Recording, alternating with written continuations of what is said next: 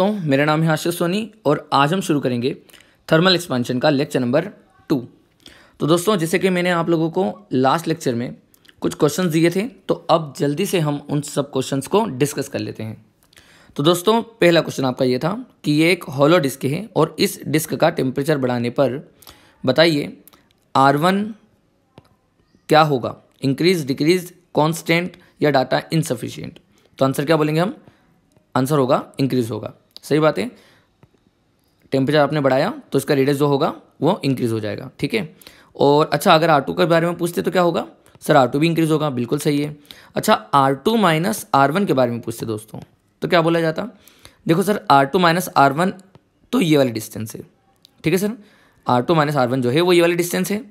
तो अगर मैं बात करूँ इस डिस्टेंस की, इस लेंथ की तो हमको पता है कि टेम्परेचर बढ़ाने पर ये जो लेंथ है, वो बढ़ेगी। इसकी, इसका मतलब ये हुआ कि ये R two minus R one भी बढ़ेगा। क्लियर है क्या इतना? है ना? और ऐसे ही R one plus R two अगर आपसे पूछा जाए तो वो भी बढ़ेगा। चलिए, अब आते हैं नेक्स्ट क्वेश्चन पे। तो नेक्स्ट क्वेश्चन में आपको क्या बोला गया है?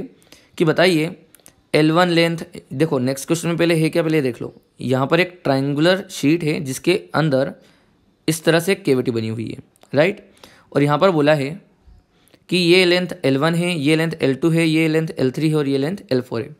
तो बताइए ये चारों लेंथ क्या होंगी टेम्परेचर इंक्रीज करने पर? तो बड़ा आसान क्वेश्चन है ना ये तो। भाई, हमको सीधी बात है कि केविटी का साइज़ भी इंक्रीज होता होता है। ये मैंने आपको पहले भी बता रखा है है ना? तो हम ये बोलेंगे कि L one L two L three and L four चारों के चारों इंक्रीज होंगे। क्लियर है क्या? याद रखना, ये दो आइटम के बीच की दूरी। भाई, अगर अपन को ये वाले एल वन बतानी लेंथ तो आप दो आइटम चुनो ऐसे। और दो आइटम के बीच की दूरी बढ़ेगी तो आपकी लेंथ बढ़ गई। इसी तरह से इस एल टू भी बढ़ेगा, इसी तरह से एल थ्री भी बढ़ेगा और एल फोर भी बढ़ेगा। अब आ जाते हैं next question question number three पर। तो दोस्तों, यहाँ पर यह बोला गया है कि अगर हमने टेम्परेचर बढ़ाया तो बताइए लेंथ क्या लेंथ का क्या होगा? तो लेंथ अपन क्या बोलेंगे? Sir L one L two L three तो बढ़ेगा। इतना तो तय है। मगर एंगल का क्या होगा बताइए? जो एंगल है ये थीटा इसका क्या होगा? तो ध्यान रखिएगा दोस्तों थीटा जो होगा वो कांस्टेंट होगा। इसको प्लीज़ नोट डाउन कर लो अच्छे से।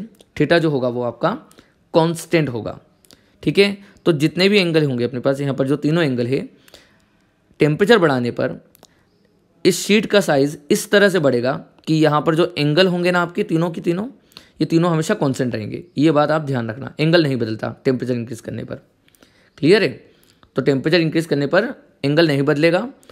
तो इसीलिए इसका शेप नहीं बदलता। मतलब ट्राइंगल है तो ट्राइंगल ही रहेगा, है ना? बड़ा ट्राइंगल बन जाएगा, बस इस तरह से हो जाएगा। आप बात समझ रहे हैं ना?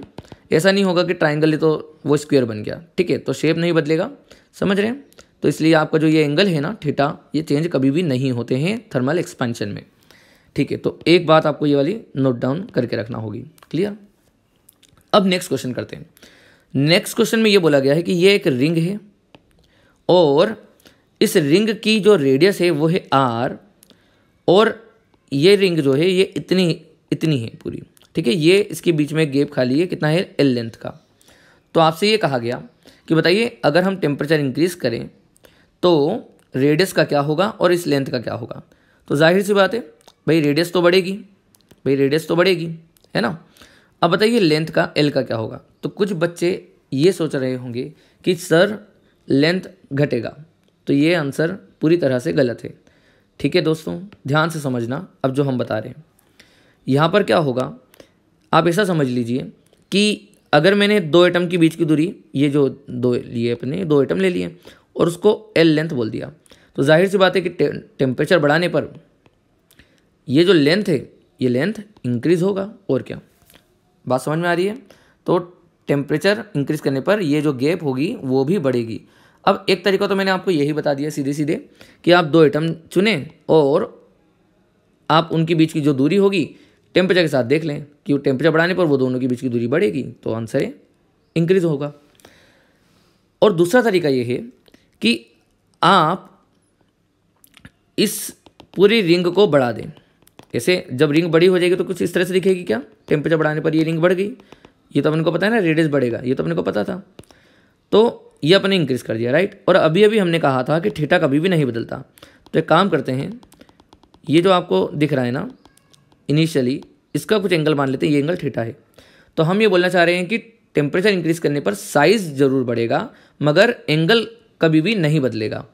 तो एंगल नहीं बदलना चाहिए तो एंगल अगर नहीं बदला है तो उस हिसाब से अगर अपन देखें तो यहाँ पर ये जो दो पॉइंट थे, वो अब यहाँ पर आ जाएँगे ना, और तुम ये देख सकते हो कि अगर मेरा एंगल नहीं बदला है तो ये वाला पॉइंट जो है ए और बी वाला पॉइंट अब वो पी और क्यू बन गया है, जो कि डिस्टेंस इंक्रीज हो गई है। तो आंसर होगा इसका कि एल भी इंक्रीज होगा। बात क्लियर हो गई अपने को? चलिए दोस्तों तो अब हम एक और क्वेश्चन कर लेते हैं। इनके ऊपर कुछ और क्वेश्चन कर लेते हैं, जिससे कि आपको थोड़ा सा और प्रैक्टिस हो जाए। ठीक है? चलिए दोस्तों तो ये क्वेश्चन आपके सामने है। बहुत ही इंपॉर्टेंट है, ये ध्यान रखिएगा। बहुत प्यारा क्वेश्चन है ये। इसको अच्छे से नोट डाउन करना और अच्छे से इसमें दिमाग भी लगाना, ठीक है? तो दोस्तों क्वेश्चन ये दिया गया है कि हमारे पास दो आइडेंटिकल स्पेयर्स हैं। दो कैसे स्पेयर्स अपने पास? आइडेंटिकल एक का नाम है ए एक का नाम है बी तो क्वेश्चन ये आपसे कहा गया कि अगर हम दोनों स्पेयर्स का टेम्परेचर सेम राइज करें तो बताइए ए और बी में ए और बी में कौन ज़्यादा एक्सपैंड करेगा? और क्वेश्चन नंबर टू ये है कि अगर हम इनको सेम हीट प्रोवाइड करें, ध्यान रखिएगा दोस्तों, क्या बोला गया है? सेम हीट प्रोवाइड करें तो ए और बी में से कौन ज़्यादा एक्सपेंड करेगा?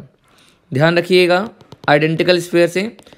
आइडेंटिकल का मतलब ये हुआ कि वो हर चीज़ में सेम है। उनका वॉल्यूम भी सेम है शेप भी सेम है रेडियस भी सेम है, उनका कॉफिशियंट ऑफ़ वॉल्यूम एक्सपेंशन भी सेम है। पहला क्वेश्चन क्या है? कि अगर हमने टेम्परेचर सेम राइज करा तो कौन ज़्यादा एक्सपेंड करेगा? दूसरा क्वेश्चन दिया है कि अगर दोनों को सेम हीट प्रोवाइड करी गई तो ए और बी में से कौन ज़्यादा एक्सपांड करेगा? तो आई होप कि आप सब लोगों ने इस क्वेश्चन को अटेम्प्ट कर लिया है और तभी इस सॉल्यूशन को देख रहे हो। दोस्तों, अगर अभी तक नहीं करा है तो स्क्रीन पॉज करो क्वेश्चन को अटेम्प्ट करो, बहुत ही अच्छा क्वेश्चन है। और फिर अब इसका सॉल्यूशन देखना। चलिए।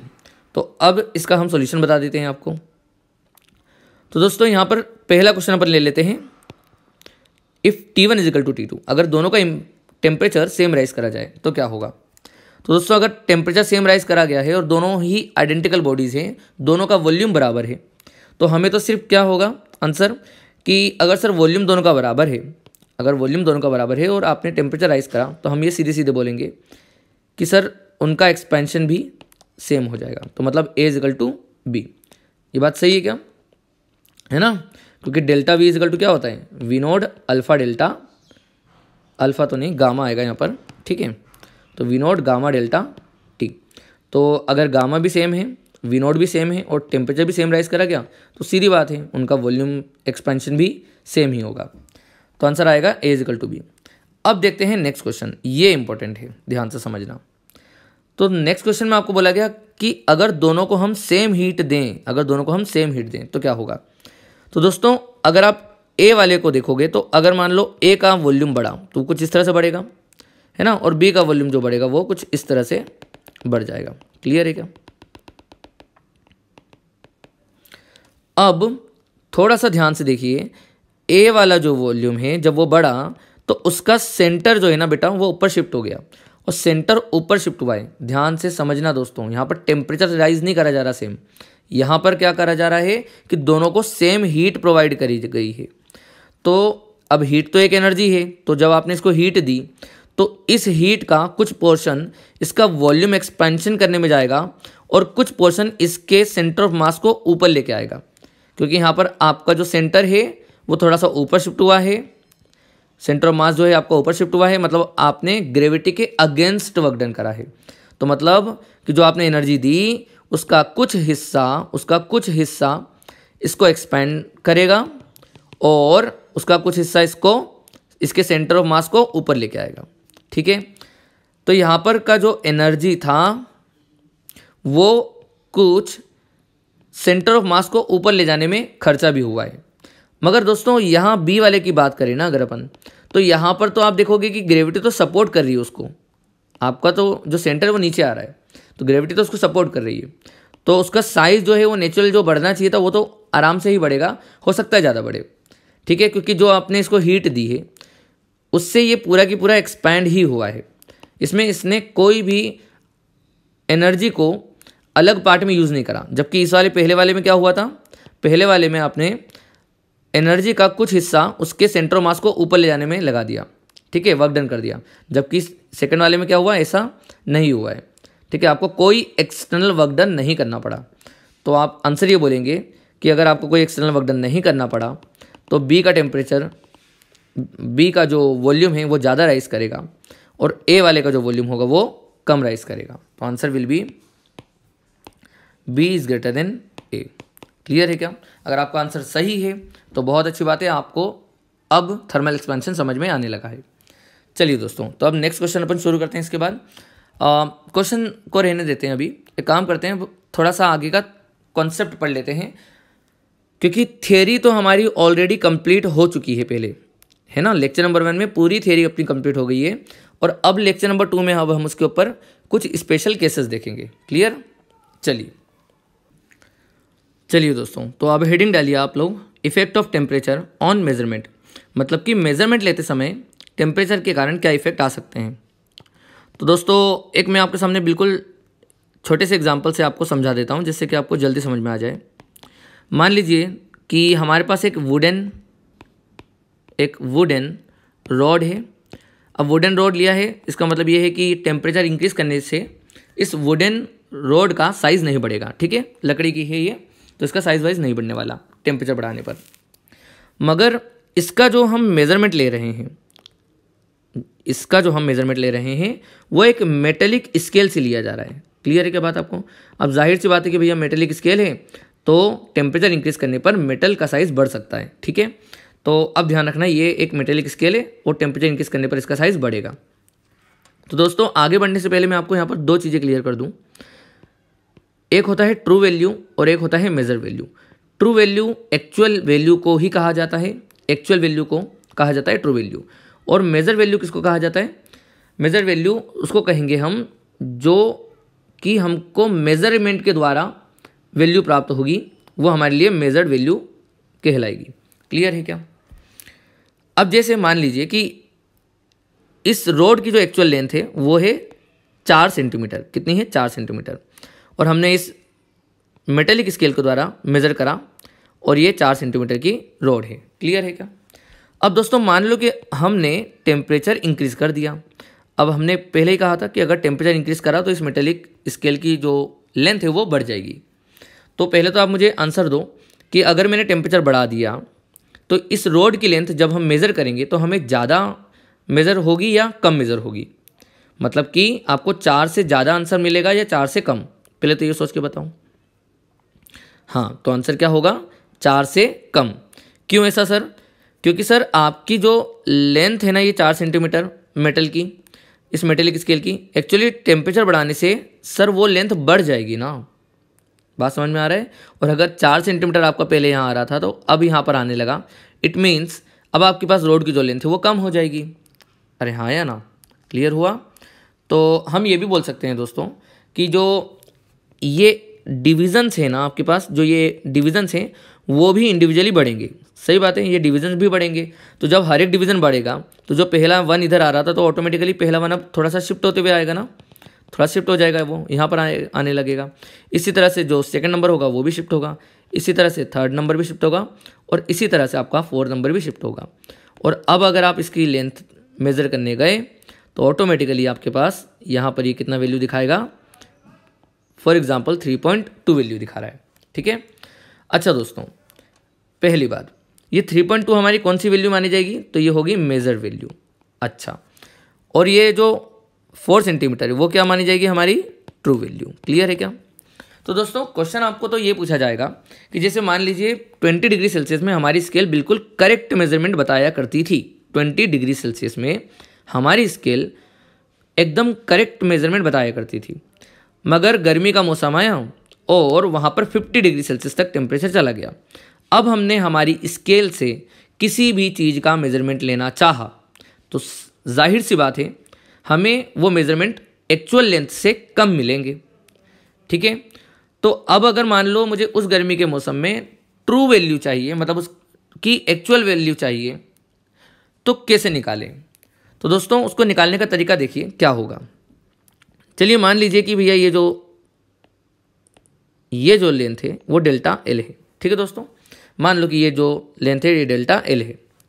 तो हम ये बोल सकते हैं ना दोस्तों कि जो ट्रू वैल्यू होगी, वो हमारे measure value plus delta L के बराबर होगी ना। जैसे भैया यहाँ पर जो मेज़र वैल्यू आई है, वो इतनी थी थ्री पॉइंट टू थी। अगर मैं उसमें डेल्टा एल और ऐड कर दूँ तो मुझे डेल्टा इसकी ट्रू वैल्यू मिल जाएगी। है ना? मेरा आंसर मतलब चार सेंटीमीटर आ जाएगा। और अगर मैं इसको थोड़ा सा लिख दूँ, है ना, थोड़ा सा और अच्छे से लिख दूँ तो ये अपने पास बनेगा formula true value equal to measure value into true value equal to measure value into one plus alpha delta T क्या बात समझ में आ रही है आपको? अल्फ़ा किसका लिया बच्चे? रोड तो हमारी बढ़ नहीं रही है ना? हमारा जो स्केल है उसका ये. तो ये हमारे पास अल्फ़ा एस है. क्लियर है? ये अल्फ़ा एस है अपने पास. अल्फ़ा ऑफ़ स्केल क्या बात समझ में आ गई आपको? तो हम यहाँ पर ट्रू वैल्यू कैसे निकाला करेंगे? जो भी हमारी मेजर वैल्यू होगी, हम उसमें डेल्टा एल एड करेंगे। इट मीन्स ये वाला फॉर्मूला लगा देंगे, है ना? True value equal to measure value into one plus alpha delta T जल्दी से दोस्तों इसे नोट डाउन कर लो। अब थोड़ा सा ना इसके अंदर हम और समझते हैं। अभी तो क्या हुआ दोस्तों कि गर्मी के मौसम में हमने जब मेज़र करा तो हमारी जो स्केल थी ना, वो एक्चुअल लेंथ से कम लेंथ बताया कर रही थी। अब मान लो जैसे अभी तो फ़िलहाल पे क्या हुआ है ना कि हमने वुडन रोड लिया था। मगर दोस्तों, अगर मान लो हमने यहाँ पर रोड जो है, वो भी मेटेलिक लिया होता तो यहाँ पर क्या होता? सोच के बताओ कि गर्मी के मौसम आने पर ये रोड भी बढ़ जाती, है ना? और आपकी स्केल भी बढ़ जाती। अब रोड में भी चेंज है और आपकी स्केल में भी चेंज है। अब आपसे बोल रहा है गर्मी के मौसम में कि बताइए, इस रोड का एक्चुअल लेंथ क्या होगा? तो दोस्तों, यहाँ पर थोड़ी सी तकलीफ़ समझ रहे हो आप क्या हुई? अगर मान लो हमारी स्केल सही होती, मान लो कि हमारी स्केल वुडन की बनी होती तो अब आपका क्या है, वो जो रॉड है वो बढ़ गया। तो मतलब एक तो उस रॉड में, रॉड की रीडिंग में फॉल्ट आया। सही बात है? और जिस स्केल से आप रीडिंग ले रहे हो, वो खुद एक फॉल्टी है। मतलब एक गलत स्केल मानी जा रही है। और उसके बावजूद भी आपको आंसर बिल्कुल सही बताना है। एक्चुअल वैल्यू का बताना है है ना? तो अब कैसे करें? तो ध्यान से समझिएगा आंसर आप सुनिए। आंसर है आपके पास। ध्यान से लिखना। तो आपका आंसर होगा कि true value is equal to measure value into one plus alpha delta T तो तुम बोलोगे, सर फॉर्मूला तो सेम ही है। नहीं नहीं। ये जो अल्फ़ा है ना आपके पास, इसकी वैल्यू आप लिखना। Alpha is equal to alpha scale minus alpha rod clear है क्या? दोस्तों, अगर आप इस वाले फॉर्मूला को यूज़ कर लोगे ना तो आपके सारे के सारे आंसर सही चले जाएँगे। क्लियर है क्या? अगर आपको इसका डेरिवेशन चाहिए तो आप बिल्कुल अलग से मुझसे पूछ सकते हैं। ठीक है, मैं आपको एक्सप्लेन कर दूँगा। मगर आप इस फॉर्मूले को बिल्कुल आराम से यूज़ करिए, कोई दिक्कत नहीं आएगी। ठीक है, बहुत इंपॉर्टेंट फॉर्मूला है, इसको आप नोट डाउन कर लो अच्छे से। ठीक है, अगर गर्मी के दिनों में, क्या है, सुनो मेरी बात ध्यान से। अगर गर्मियों के दिनों में आप लोगों से बोला जाए कि रॉड की भी लेंथ चेंज हो रही है और स्केल की भी लेंथ चेंज हो रही है। तो आप तो सीधे सीधे बस ये वाला फॉर्मूला लगा दीजिएगा। मतलब जो हमने पहले बोला वही फॉर्मूला है। और उसमें जो अल्फ़ा की वैल्यू है, उसको हम लिख देंगे alpha scale minus alpha rod बस, आपके आंसर एक्चुअल मिल जाएँगे। क्लियर है क्या? पक्का? चलिए दोस्तों तो अब हम आगे बढ़ते हैं। जल्दी से इसको नोट डाउन कर लो।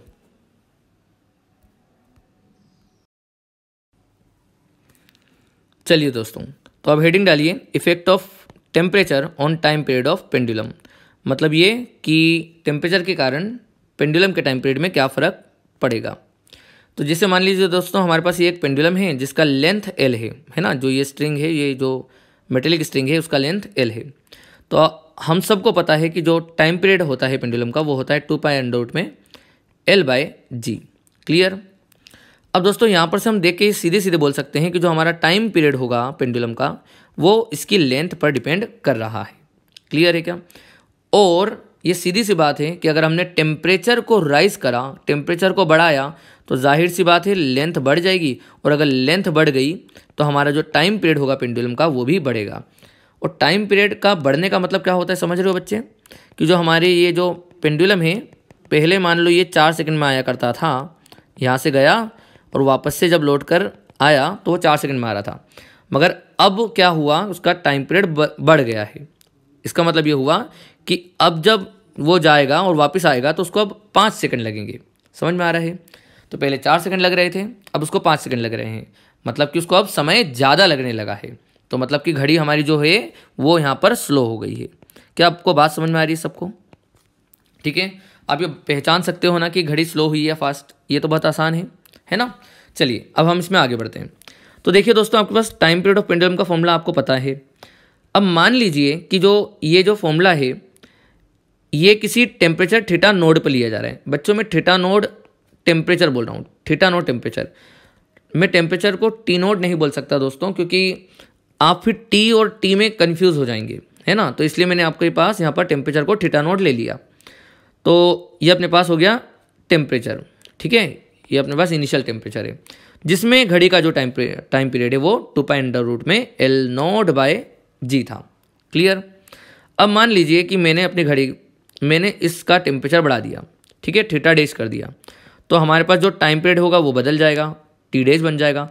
और क्या हो जाएगा? टू पाई अंडर रूट में एल डेज़ बाय जी सीधी बात है लेंथ बदल जाएगी। और हमें ये सबको पता भी है कि जो लेंथ हो जाएगी ना वो कितनी हो जाएगी? तो आप बोलेंगे, sir L dash equal to L naught into one plus alpha delta theta इतनी बात अपने को सबको क्लियर है क्या? है ना? ये अपने पास लेंथ हो जाएगी। तो चलिए, अब उसकी वैल्यू पुट कर देते हैं यहाँ पर। तो टू पॉइंट डॉट में एल डेश बाई जी तो एल डेश की वैल्यू कितनी है? L naught into one plus alpha delta theta अपाउन में जी अब ध्यान से देखिए टू पाए अंडर रूट में एल नोड बाय जी ये तो अपना टी है ना तो अपन इसको लिख सकते हैं ना T dash equal to T into one plus alpha delta theta की whole power one by two आप ये तो बोल ही सकते हो। सही बात है क्या? है ना? अब दोस्तों, यहाँ पर मैं लगाने जा रहा हूँ बायनोमियल एक्सप्रेशन ठीक है? बायनोमियल एक्सप्रेशन क्या होता है? ध्यान से सुनो।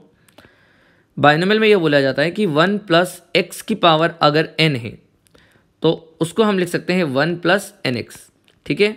और ये हम तभी कर सकते हैं जब ये हम तभी कर सकते हैं जब हमारे पास एक्स जो है वो बहुत ही छोटा हो वन से। ये बात क्लियर हुई क्या? ये बाइनोमियल एक्सप्रेशन है। बाइनोमियल एक्सप्रेशन ठीक है? तो वन प्लस एक्स की पावर एन को हम वन प्लस एन एक्स लिख सकते हैं मतलब उसकी पावर से आगे मल्टीप्लाई कर सकते हैं और पावर हटा सकते हैं। तो अब ध्यान से समझना, ये तभी लगा सकते हैं जब एक्स वन से बहुत ज़्यादा छोटा हो। तो ये लिखा है वन और इसको मान लेता हूँ मैं एक्स क्लियर? अब दोस्तों, ये जो एक्स होना चाहिए, वो वन से पहली बात तो छोटा होना चाहिए, ठीक है? तो दोस्तों, जो अल्फ़ा होता है ना हमारा, वो generally ten to the power minus five के करीब होता है है ना? किसी भी मेटल का अगर आप देखें तो अल्फ़ा आपके पास ten to the power minus five के करीब होता है। तो अगर आपने अब ten to power minus five ये है, और डेल्टा थीटा मतलब टेम्परेचर राइज कितना करोगे? भाई, जैसे ठंड चल रही है तो अपने पास दस डिग्री टेम्परेचर था, अब गर्मी आ गई है, ठीक है? तो आप पचास डिग्री तक जा सकते हो एक्सट्रीम पर। तो पचास डिग्री, चलो आप सौ डिग्री इंक्रीज़ कर दो टेम्परेचर ठीक है? तो सौ डिग्री इंक्रीज़ करने के बावजूद भी जो आपका अल्फ़ा से मल्टीप्लीकेशन होगा तो ten to the power minus five into hundred degree Celsius मिलकर भी अभी ये ten to the power minus three तक पहुँचेंगे। और ten to the power minus three का मतलब क्या हुआ? मतलब ये कि पॉइंट ज़ीरो ज़ीरो वन मतलब ये कि आपके पास वन के कंपेरिजन में अभी भी जो ये वैल्यू है, ये बहुत छोटी हुई ना। तो इसलिए हम यहाँ पर बाइनोमियल एक्सप्रेशन यूज़ कर सकते हैं। ठीक है दोस्तों? तो पहली बात तो ये समझ में आया कि आपको बाइनोमियल एक्सप्रेशन यूज़ कैसे करना है है ना? हम यहाँ पर यूज़ कर सकते हैं। तो अब मैं इसको लिखने जा रहा हूँ बाइनोमियल एक्सप्रेशन के हिसाब से। T dash equal to T into one plus one by two alpha delta theta क्या ये बात आपको समझ में आ रही है? मतलब आपके पास जो पावर थी ना, वो आगे मल्टीप्लाई हो गई। और अगर मैं इसको थोड़ा सा अच्छे से लिखूँ तो ये कुछ इस तरह से बनेगा दोस्तों कि delta T equal to T into half alpha delta theta. तो बेटा ये आपके पास आ गया फॉर्मूला। क्लियर है क्या? अब मैं इसको नेक्स्ट पेज में प्रोसीड कर रहा हूँ बच्चे, ध्यान से सुनते चलना। ठीक है? ये आप जल्दी से नोट डाउन कर लो। अब अपन यहाँ पर आते हैं। तो चलिए दोस्तों, हमारे पास क्या फॉर्मूला आया अभी? कि delta T is equal to T into half alpha delta theta तो पहले तो इसका मतलब समझिएगा दोस्तों, है ना? बहुत अच्छे से इसका मतलब समझना है हमें। देखिए, मान लीजिए कि टेम्परेचर थीटा नोड पर जो हमारा पेंडुलम है, उसका जो टाइम पीरियड है, वो कितना है? टी है। कितना है? टी ठीक है? अब जब हमने उसका टेम्परेचर बढ़ा दिया मतलब ठिटा कर दिया बढ़ाकर तो जो हमारी घड़ी का जो लेंथ है, वो बढ़ गया है। अब घड़ी का जब लेंथ बढ़ गया है तो जो अब टाइम पीरियड है, वो अब टाइम पीरियड भी बदल गया है। और टाइम पीरियड कितना हो गया हमारे पास? टी प्लस डेल्टा टी ये बात समझ में आई कि नहीं? अब उसका time period T plus delta T बन गया। मतलब ये दोस्तों कि टी समय पर उसके अंदर चेंज आ गया, एक इरर आ गया डेल्टा टी का। क्लियर है क्या दोस्तों? इतना भी आपको क्लियर हो रहा है क्या? है ना? तो ये अपने पास टी समय में आने वाला इरर है। पहले मान लो वो चार सेकंड का पेंडुलम था, अब उसको ऐसा मान लो कि फोर पॉइंट वन सेकेंड लगने लगा। मतलब पॉइंट वन सेकेंड का इरर आने लगा। बात समझ में आएगा ही क्या? है ना? तो ये आपके पास क्या आ जाएगा? चेंज इन टाइम पीरियड है ना? ये चेंज है। टी समय में आने वाला इरर है। टी समय में आने वाला चेंज है ये। ठीक है? ये क्या है? Change in time period of pendulum due to temperature इसको आप लिख देना। क्या लिखोगे? Change in time period of pendulum due to temperature इतने का चेंज आया है आपके पास। क्लियर अब दोस्तों, ये तो अपने पास एक फॉर्मूला हो गया। है ना? ये तो इम्पोर्टेंट है ही। मगर अब जो मैं बताऊँगा, वो और भी ज़्यादा इम्पोर्टेंट है। और उसको बोलते हैं हम फ्रैक्शनल चेंज ठीक है? तो डेल्टा टी और इसको अगर नीचे ले जाएँ तो डेल्टा टी बाई टी बन जाएगा। तो इसको बोलेंगे हम delta T by T is half alpha delta theta और ये है आपके पास सबसे ज़्यादा इम्पोर्टेंट फॉर्मूला क्लियर है क्या? बहुत ही ज़्यादा इम्पोर्टेंट फॉर्मूला इसका मतलब ये है, ये जो इधर लिखा है, इसको हम बोलेंगे फ्रिक्शनल चेंज इसको हम बोलेंगे। लिखिएगा। Fractional change in time period. ठीक है? Fractional change in time period. और ये ध्यान रखिएगा कि fractional change in time period जो है, fractional change in time period, वो टाइम पे डिपेंड नहीं करता। फ्रैक्शनल चेंज जो है, वो टाइम पीरियड ऑफ़ पेंडुलम पे डिपेंड नहीं करता। डज नॉट डिपेंड ऑन ध्यान रखना ये जो फॉर्मूला होता है ये जो बता रहे हैं हम आपको। Does not depend does not depend on time period of pendulum time period of pendulum ये अभी आपको, अभी इसका महत्व नहीं समझ में आएगा। ये थोड़ी देर बाद समझ में आएगा जब मैं आपको क्वेश्चन कराऊँगा, है ना? अभी तो जैसा पढ़ाया है है ना? वैसा कि वैसा लिख लो। क्या बताया आपको? कि भैया टी समय में आने वाला जो एरर है, वो ये रहा फॉर्मूला आपके पास, ठीक है? अंडरलाइन कर दिया अभी। और ये जो है, ये जो है, इसको बोलते हैं हम frictional change in time period ठीक है? जो कि उसके टाइम पीरियड से इंडिपेंडेंट होता है। इसका मतलब पता है क्या होता है दोस्तों? कि जो हमारा फ्रिक्शनल चेंज है ना, वो किसी भी टाइम पीरियड का हमारे पास पेंडुलम क्यों ना हो? मतलब हमारे पास जो पेंडुलम है ना जैसे मान लीजिए हमारे पास पेंडुलम इतनी लेंथ का हो, इतनी लेंथ का हो, इतनी लेंथ का हो, इतनी लेंथ का हो, कितनी भी लेंथ का हो, है ना? और इन सबके टाइम अलग ही क्यों ना हो? T one T two T three T four हमें सब मतलब ही नहीं है। उस, इन सब का अगर अल्फ़ा सेम है ना, अगर अल्फ़ा सेम है ना, ध्यान रखना मेडिकल वाले बच्चों को सीधे पूछ लेते हैं इसे, है ना? तो भैया अगर इनका अल्फ़ा सेम है ना तो इन सब का fractional change in time period तो सेम ही रहेगा, ये ध्यान रखिएगा।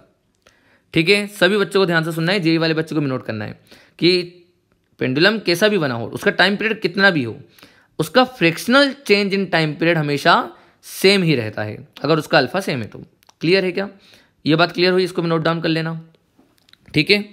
अब दोस्तों मैं अगर आपको इतना समझा चुका हूँ और अगर आप इतना समझ चुके हो तो अब हम आगे बढ़ते हैं और अब उस, इस फॉर्मूले का असली महत्व समझते हैं कि किस तरह से इसका यूज़ करा जाता है। Fractional change in time period का। देखिए। जैसे कि दोस्तों, आपके क्वेश्चन आएगा ना तो आपसे क्वेश्चन क्या पूछेगा, मैं आपको समझा देता हूँ पहले तो। क्वेश्चन आपसे ये बोलेगा कि, मान लीजिए, आपकी जो घड़ी है, या आपका जो पेंडुलम है, आपका जो पेंडुलम है, वो दो सेकंड का टाइम पीरियड रखता है अपने पास, ठीक है? दो सेकंड का उसका टाइम पीरियड है है ना? उसका टाइम पीरियड कितना है? दो सेकंड का। अब मान लो कि आपने टेम्परेचर वेम्परेचर बढ़ा दिया तो उसके अंदर पॉइंट ज़ीरो वन का पॉइंट ज़ीरो वन सेकेंड का एरर आने लगा। अब एरर ये पॉजिटिव भी हो सकता है नेगेटिव भी हो सकता है है ना? पर अभी हमने बोला कि ये पॉइंट ज़ीरो वन सेकेंड का एरर आने लगा। क्लियर कितने में? एक पूरे चक्कर काटने में एक पूरे चक्कर काटने में उसको पॉइंट ज़ीरो वन सेकेंड का एरर मिलने लगा। तो मतलब ये बोलूँगा ना मैं कि दो सेकेंड में उसको पॉइंट ज़ीरो वन का एरर आ गया। पॉइंट ज़ीरो वन सेकेंड का एरर आ गया। अच्छा अगर आपसे दोस्तों वो पूछे कि बताइए, अगर दो सेकंड में इतना एरर है तो एक घंटे में कितने का एरर होगा? तो आप कैसे करोगे दोस्तों? आप बोलोगे, सर, बड़ा आसान है। दो सेकंड में इतने का एरर है। ठीक है? दो सेकंड में इतने का एरर है। तो साठ सेकंड में मतलब कि एक मिनट में है ना? एक मिनट में कितने का एरर आ जाएगा? तो आप इसमें थर्टी का मल्टीप्लाई कर दोगे। सही बात है? तो पॉइंट थ्री सेकेंड का एरर आ जाएगा। और अगर एक मिनट में इतने का एरर है तो एक घंटे एक घंटे मतलब साठ मिनट ठीक है? तो सिक्सटी मिनट मतलब वन आर तो वन आर में कितने का आ जाएगा? तो आप बोलोगे sixty into point three second ठीक है? तो ये कितना हो जाएगा दोस्तों? ये हो जाएगा आपके पास वन पॉइंट एट सेकेंड का एरर आ जाएगा। अब बात समझ रहे हो क्या? मतलब देखो भैया दो सेकंड में सिर्फ़ पॉइंट ज़ीरो वन का एरर था। मगर अब हम जब एक घंटे का एरर देखने लगे, एक घंटे में चेक करा हमने तो एक घंटे में हमारी जो घड़ी है, वो डिजिटल वॉच से 1.8 सेकंड पीछे हो गई है। और अगर मैं इसी तरह से पूरे 24 घंटे का चेक कर लूँ मतलब एक दिन तक इसका एरर चलने दूँ इसी तरह से घड़ी को तो एक दिन में मेरी घड़ी कितनी पीछे हो जाएगी ये वाली? तो आप क्या करोगे सर? आपके पास सर चौबीस घंटे होते हैं एक दिन में तो चौबीस घंटे में कितना पीछे हो जाएगी? चौबीस इंटू वन पॉइंट एट बात समझ में आ रही है क्या? इतना आपके पास घड़ी पीछे हो जाएगी। क्लियर है क्या? जो कि इफेक्टिवली आपको समझ में आता भी है है ना? कि अगर आप इसको मल्टीप्लाई भी करोगे, चौबीस इंटू वन पॉइंट एट तो ये लगभग लगभग forty three point two second के करीब चले जाएगा। मतलब एक दिन में हमारी घड़ी इतने सेकेंड पीछे हो गई है। क्या अब आपको पूरी पूरी बात समझ में आई? देखो क्वेश्चन इस तरह से आपको पूछता है वो। ये जो मैंने आपको बताया है, ये बस आपको स्टार्टिंग करी है मैंने समझाने की।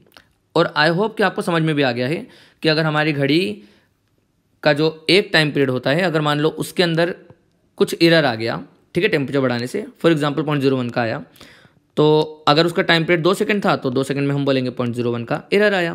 तो इस तरह से अगर आपको पूछा जाए कि एक दिन का, एक साल का, एक महीने का, एक महीने में कितना घड़ी पीछे हो गई तो आप इस तरह से कैलकुलेशन करके बता सकते हो। क्लियर है क्या? है ना? चलिए, अब मैं थोड़ा सा इसके और आगे बढ़ता हूँ। तो चलिए दोस्तों, अब मैं इसे किसी थोड़ा सा जनरलाइज फॉर्म में लिख देता हूँ। समझिए ध्यान से, है ना? क्वेश्चन किस तरह से आएगा आपके पास? आपको बोला जाएगा कि थीटा टेम्परेचर पे आपका जो टाइम पीरियड आ रहा है ना, वो टी था। थीटा टेम्परेचर पर आपका जो टाइम पीरियड है वो टी है। और थीटा डेज़ टेम्परेचर पर आपका जो टाइम पीरियड है, वो मान लीजिए टी डेज़ हो गया। अच्छा दोस्तों अब यहाँ पर क्या हुआ है कि टेम्परेचर बढ़ाने पर आपका जो टाइम पीरियड है वो बदल गया। मतलब कि यहाँ पर एरर आ गया आपके पास। कितने का एरर आया? डेल्टा टी का। इतनी बात तो समझ में आ गई ना? कि पहले टी था और अब टी डेस हो गया मतलब एरर आ गया है। ठीक है? तो आपसे वो पता है क्या पूछेगा? कि बताइए कि 24 घंटे में आपकी घड़ी डिजिटल घड़ी से कितना पीछे हो जाती है? बच्चों, वो यहाँ पर आपको 24 घंटे भी दे सकता है। कि 24 घंटे में कितना पीछे हुई। आपको वो बोल सकता है कि दो दिन में कितनी पीछे हुई द, दस दिन में पीछे कितनी हुई इस तरह से भी दे सकता है। एक महीने में कितनी पीछे हो गई वो ये भी दे सकता है। क्लियर है क्या? तो ये रेंज वो डिसाइड करके दे देगा आपको कि भैया इतने दिन में हमारी घड़ी डिजिटल घड़ी से कितना पीछे हो गई। क्लियर है क्या? तो मैं ऐसा बोल देता हूँ क्वेश्चन में कि मान लीजिए टी टाइम में टी समय में आपकी घड़ी कितना पीछे हो गई। तो आपको बताना है कि टी समय में, टी समय में आपकी घड़ी कितना पीछे हो गई। तो आपके पास डेल्टा टी फाइंड करना है आपको। ये बात समझ में आ रही है? तो करने का तरीका क्या होगा? तो दोस्तों, आप ये बोलोगे, देखो सर, बड़ा आसान है। सर एक्चुअल में मेरी जो घड़ी थी, वो ये वाली थी, ठीक है? टी सेकंड वाली। तो हम बोलेंगे कि सर,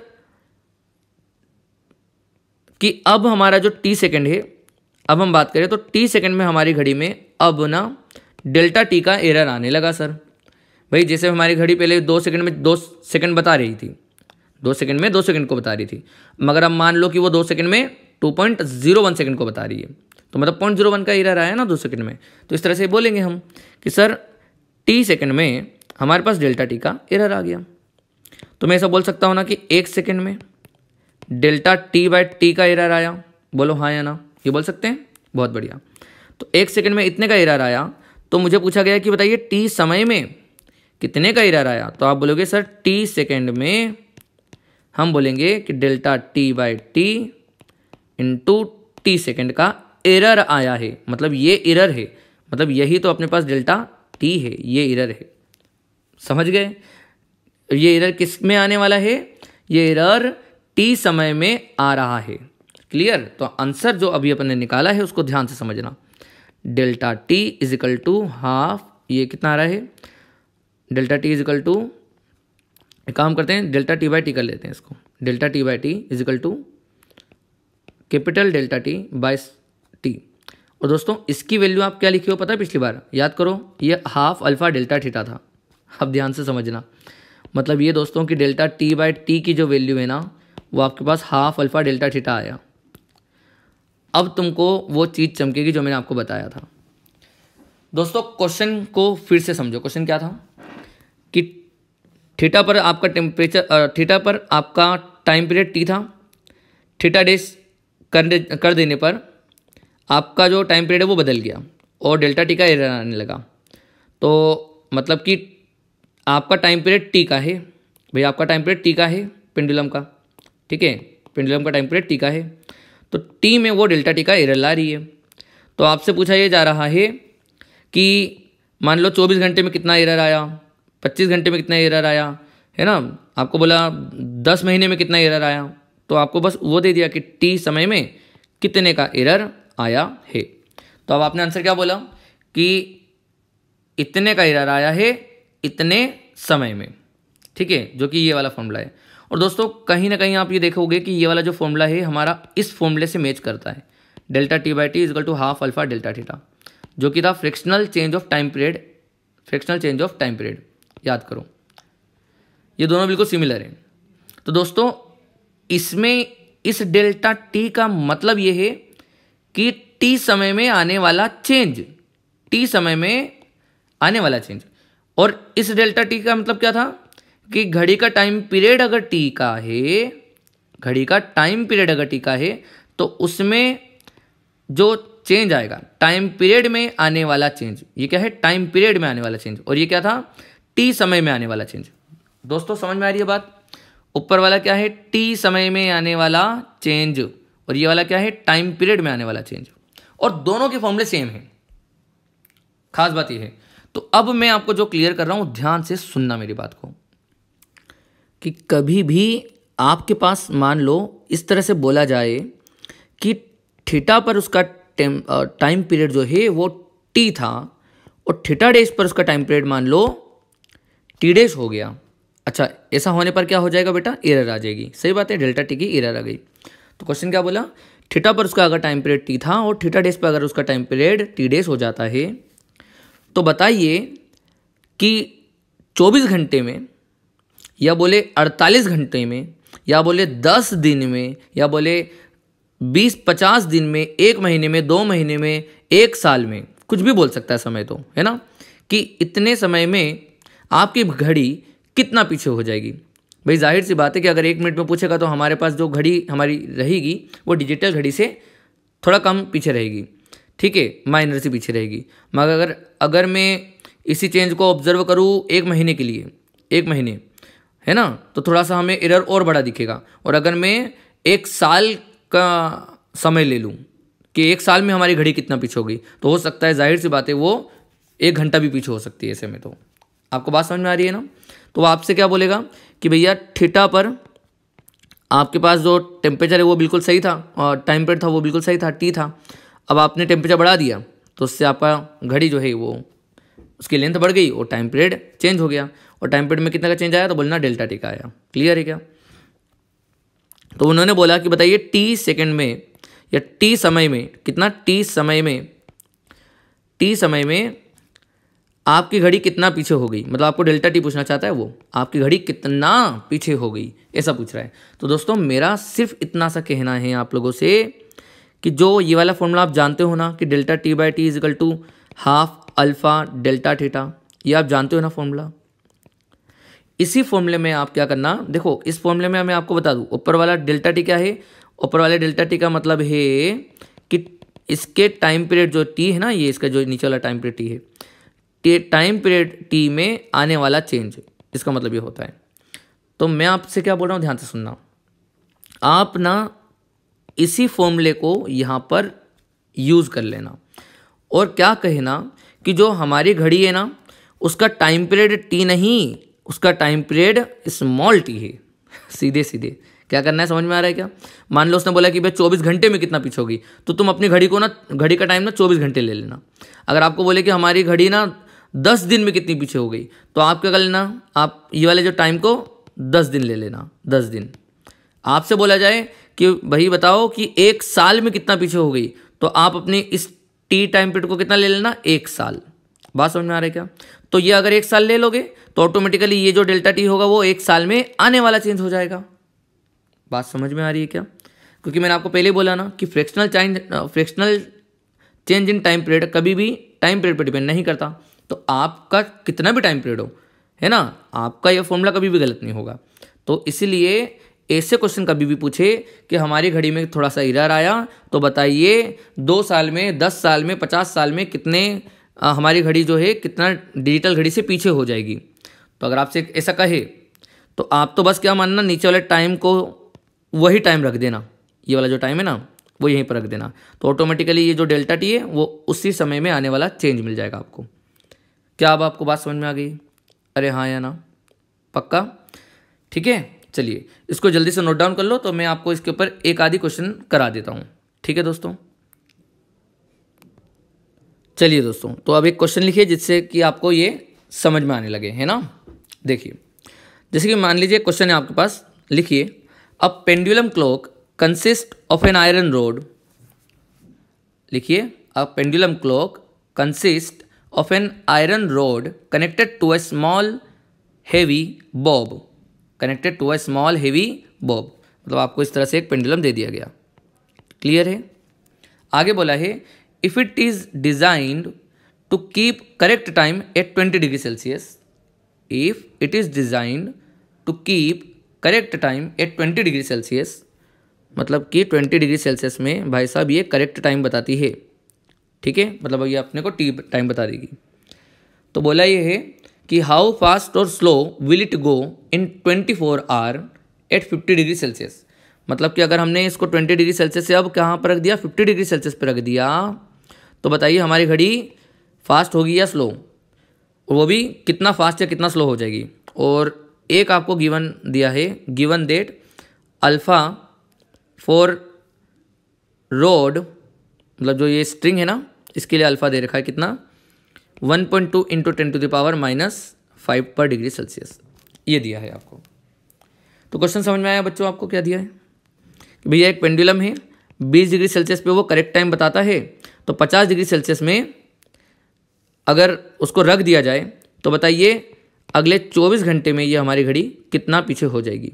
24 घंटे में हमारी घड़ी कितने का इरर शो करने लगेगी? तो सबसे पहली बात, हमारे इस वाले केस में क्या हुआ? टेम्परेचर को बढ़ाया गया है। टेम्परेचर को बढ़ाया मतलब लेंथ बढ़ेगी। और टेम्परेचर बढ़ा लेंथ बढ़ी तो मतलब कि टाइम पीरियड बढ़ेगा। और टाइम पीरियड बढ़ने का मतलब हो जाएगा कि हमारी घड़ी स्लो हो गई। क्या इतनी बात समझ में आ गई आपको? है ना? तो उसने बोला था हाउ फास्ट और स्लो तो बोल देना आंसर स्लो हो जाएगी। अब कितना स्लो होगी तो अब सुनिए। तो देखिए, मैंने आपको क्या सिखाया था? चौबीस घंटे में बताना है ना तो अपनी घड़ी का इस तरह से बना दो कि उसका टाइम पीरियड ही चौबीस घंटे हो जाए। ठीक है? तो twenty four hours twenty four hour तो delta T by T equal to half alpha alpha कितना है? One point two into ten to power minus five तो half alpha delta theta delta theta कितना हो गया? तीस. तो ये बेटा आपका आंसर हो गया, ख़त्म. बात समझ में आई आपको? है ना? तो ये आपका आंसर हो गया. आप इसको कैलकुलेट कर लो. ट्वेंटी फोर आवर में बच्चे कितने सेकंड होते हैं, पता है क्या? ट्वेंटी फोर आवर में. तो ये होते हैं छियासी हज़ार चार सौ. अब ये याद हो तो ठीक है, नहीं तो निकाल लेना. है ना, कि एक घंटे में इतने होते हैं तो चौबीस घंटे में कितने होंगे?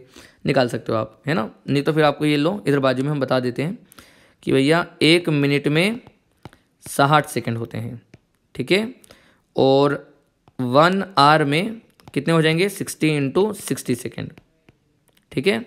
और 24 घंटे में कितने हो जाएँगे? 24 घंटे में हो जाएँगे 24 four into sixty into sixty. इनका मल्टीप्लाई करोगे तो ऑटोमेटिकली छियासी हज़ार चार सौ सेकेंड मिल जाएगा, ठीक है? चलिए तो अब वापस से आते हैं अपने पास। तो इसको सॉल्व कर लें तो कितने का चेंज आ गया? तो हम बोलेंगे, सर, ये हो जाएगा छियासी हज़ार चार सौ into one point two into one point two into ten to the power minus five into thirty इसको बच्चे आप सोल्व करोगे ना तो आपके पास ये कहीं पर नज़दीक फिफ्टीन पॉइंट सिक्स सेकेंड आ जाएगा आ जाएगा। क्लियर है क्या? तो इतने का चेंज आएगा। क्लियर है? आसान था ना? ठीक है? चलिए दोस्तों तो अब हम इसके आगे बढ़ते हैं। आई होप कि आपको ये पूरा समझ में आ गया होगा। तो आप नेक्स्ट हेडिंग डालिए सब लोग फॉल्टी थर्मामीटर जल्दी से हेडिंग डालिए। फॉल्टी थर्मामीटर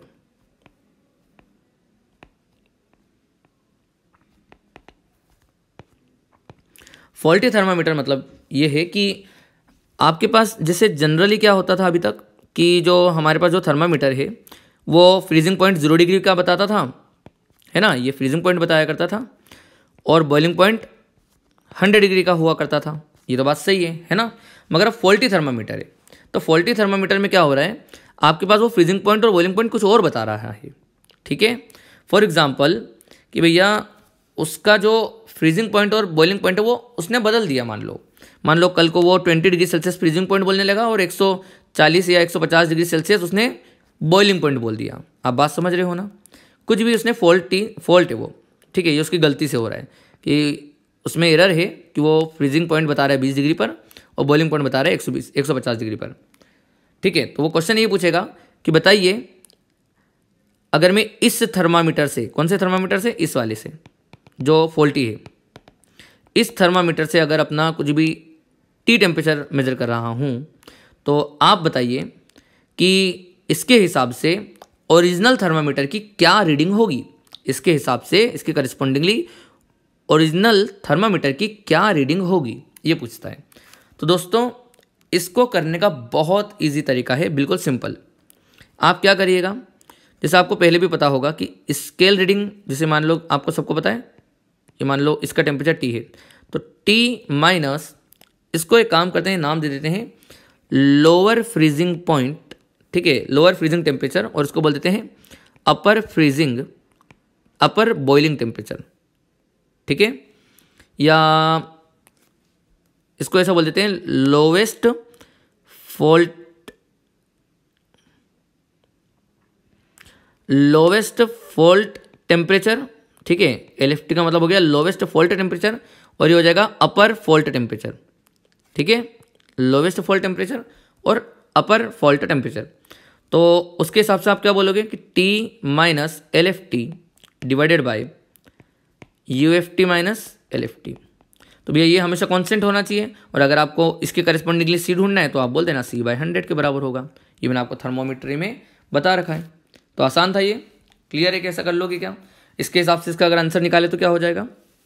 सर बड़ा आसान है. C by hundred equal to T minus, अब टी क्या है? मान लो उसने बोल दिया, भैया, यहाँ पर अस्सी डिग्री पर पूछा है कि भैया, हमारे इसमें इस थर्मोमीटर के हिसाब से अस्सी है। तो बताइए कि एक्चुअली वो इस स्केल के हिसाब से कितना है? तो आप बोलोगे अस्सी माइनस बीस अपॉन में वन फिफ्टी माइनस ट्वेंटी। तो उसको सोल्व कर लेना, आप कितना आ रहा है ये, है ना? तो कितना आ जाएगा? सिक्सटी और नीचे हो जाएगा कितना? ये हो जाएगा वन थर्टी। ठीक है? तो भाई सब ज़ीरो से ज़ीरो कट गया तो यहाँ पर से आ जाएगा आपके पास कितना? Six hundred divided by thirteen. इसको सोल्व कर लेगा, आपका आंसर आ गया। क्लियर है क्या? आसान था, है ना? चलिए तो अब नेक्स्ट हेडिंग डालिए दोस्तों। इफ़ेक्ट ऑफ़ टेम्परेचर सबको ये नेक्स्ट हेडिंग डालेंगे अब। Effect of temperature on moment of inertia on moment of inertia ठीक है? तो भाई साहब, ऐसा है कि जैसे मान लो कोई भी बॉडी है, और उस बॉडी का मान लो कुछ भी हमने ऐसे घुमाना शुरू कर दिया, ठीक है? तो उस बॉडी का जो मोमेंट ऑफ़ इनर्शिया है, वो कुछ इस तरह से बनता है ना एम आर स्क्वेयर भाई, एक आगे की टर्म होती है कुछ भी two by five M R square हो सकता है M R square by two हो सकता है है ना? Two by three M R square कुछ भी हो सकता है। मगर एम आर स्क्वेयर का टर्म ज़रूर आएगा, दोस्तों। है ना? ये बात तो मानते हो। तो मोमेंट ऑफ़ इनर्शिया जो होगा, अगर बात करें इनिशियली तो मोमेंट ऑफ़ इनर्शिया हमारा एम आर स्क्वेयर था जैसे। तो टेम्परेचर हमने इंक्रीज कर दिया अब। तो अब उसका मोमेंट ऑफ़ इनर्शिया बदलेगा। क्यों? क्योंकि उसका शेप बदल जाएगा, है ना? उसका थोड़ा सा साइज़ बढ़ जाएगा। तो क्या होगा उससे ध्यान से समझना। हमारे पास जो मास होगा वो तो बदलेगा नहीं, मास तो सेम रहेगा। टेम्परेचर बढ़ाया है तो उसका रेडियस बदल गया। तो मतलब अब हमारा जो है वो रेडियस आर डेश हो जाएगा तो इसलिए हमने लिख दिया आर डेश का स्क्वायर तो मोमेंट ऑफ़ इनर्शिया हो जाएगा I dash equal to M into R dash का स्क्वायर है ना? तो अब हमारे पास आई डेश को हम देखें तो हमारा आई डेश हो जाएगा एम इंटू आर डेश की वैल्यू बेटा क्या हो जाएगी? आर डेश की value sir R dash equal to होगा R into one plus alpha delta T भाई, यही तो होगा रेडियस है ना? क्योंकि लेंथ इसी तरह से चेंज होती है। तो यहाँ पर आप वैल्यू डाल दो उसकी। कितना हो जाएगा वैल्यू इसके? यहाँ पर हो जाएगा R into one plus alpha delta T ठीक है? ये हो जाएगा। और इसकी पावर क्या है? टू तो अभी मैं इसको लिख सकता हूँ क्या ऐसा? M R square into one plus alpha delta T की होल पावर टू इस तरह से लिख सकते हैं अपन, है ना? तो देखो दोस्तों, अपना आंसर तो ये बन रहा है। क्लियर मगर वही बात है कि अल्फ़ा डेल्टा टी, ठीक है, अल्फ़ा डेल्टा टी। अब अल्फ़ा डेल्टा टी की वैल्यू अप्रोक्सीमेटली बहुत कम होती है। तो अगर मेरा अल्फ़ा डेल्टा टी जो है, वो अगर वन से बहुत ही कम है तो क्या मैं यहाँ पर बाइनल एक्सप्रेशन फिर से यूज़ कर सकता हूँ और फॉर्मूला बना सकता हूँ? I dash equal to M R square अच्छा एम आर स्क्वेयर को तो मैं लिख दूँ आई नोड है ना? तो ये हो जाएगा आई इनिशियल वाला आई ठीक है? तो I dash equal to I into अब ये बन जाएगा one plus two alpha delta T, one plus two alpha delta T. Clear है क्या? ठीक है बाइनोमियल एक्सप्रेशन से अपन ने ये आंसर लिख दिया। क्या बात सबको समझ में आ रही है? तो अगर मैं इसका डेल्टा आई लिखना चाहूँ तो क्या बोलूँगा? Change in moment of inertia तो बोलना two I alpha delta T. ठीक है? तो ये आपसे पूछा जाए तो आप इस तरह से आंसर दे देना। आसान था। है ना? जो भी आपके पास फॉर्मूला होता है ना दोस्तों, उसमें आपने टेम्परेचर बढ़ा दिया तो आप देख लो कि इफ़ेक्ट क्या आया है। इसमें रेडियस बदल गई थी। हमने रेडियस की वैल्यू डाली फॉर्मूला वापस से बनाया तो अपने पास ये बना और उसमें बाइनोमियल एक्सप्रेशन लगा के ये क्रिएट कर दिया। क्लियर है क्या? आसान था। ठीक है? चलिए। तो अब नेक्स्ट हेडिंग डालिए आप सब लोग। Effect of effect of temperature on density on density कि डेंसिटी में क्या फ़र्क पड़ता है? अब ध्यान से समझना इधर से बच्चे। इधर से बहुत सारी चीज़ें इंपॉर्टेंट है। Effect of temperature on density तो दोस्तों डेंसिटी क्या होती है अपने पास? तो rho naught equal to M by V naught ये हम बोल सकते हैं। Density equal to mass upon volume ठीक है? तो ये हो जाएगा।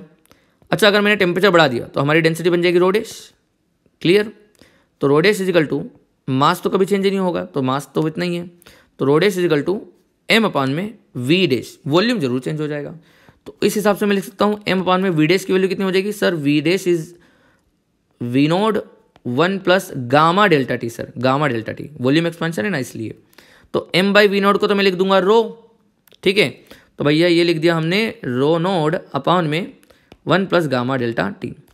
तो सर, हमारे पास आंसर बना रोडेस का, कि रोडेस इजिकल टू बन गया रोनोड अपॉन में one plus gamma delta T. ठीक है दोस्तों? तो भैया, ये अपने पास डेंसिटी का वेरिएशन होगा। क्लियर है क्या?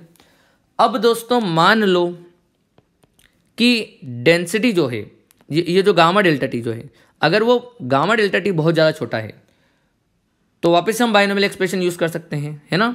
हम ये बोल सकते हैं ना कि भाई one plus gamma delta T पहले तो उसको हम ऐसे लिख दें कि ये rho naught into one plus gamma delta T की पावर माइनस वन लिखी जाएगी कि नहीं लिखी जाएगी? ऐसा लिख सकते हैं ना? भाई इस नीचे वाली क्वांटिटी को ऊपर लेके आएँगे तो उसकी पावर माइनस में आ जाएगी, सीधी बात है है ना? तो हमने ऐसा लिख दिया। और अगर मान लो मेरा गामा डेल्टा टी बहुत ही छोटा है, गामा डेल्टा टी मेरा बहुत छोटा है तो मैं इसमें बाइनोमियल्स लगा के इस माइनस पावर को नीचे ले आऊँगा। तो मतलब ये बन जाएगा rho naught into one minus gamma delta T. मगर दोस्तों, एक बात ध्यान रखना। ये जो फॉर्मूला बताया है, ये कब वैलिड है? जब गामा डेल्टा टी कब वन से बहुत ज़्यादा छोटा हो। ठीक है? अदरवाइज़ आप यही वाला फॉर्मूला लगाना। पक्का? समझ में आ रहा है? तो यहाँ से अपने को पता चल गया कि जो डेंसिटी है, वो इस तरह से चेंज होती है। है ना? तो आप देख सकते हो कि टेम्परेचर बढ़ाने पर डेंसिटी जो है, वो घट रही है। टेम्परेचर बढ़ाओगे तो टेम्परेचर बढ़ाओगे तो ये जो क्वांटिटी है, वो घटेगी। और ये मतलब क्वांटिटी घटेगी तो मतलब डेंसिटी घटेगी, है ना? इसलिए आपने देखा भी होगा कि जो